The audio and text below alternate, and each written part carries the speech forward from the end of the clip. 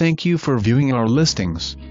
I hope you find this site as enjoyable as we found it is to use this platform. Enjoy!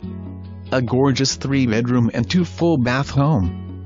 Split bedroom plan with cathedral ceilings in the den and master. Must see.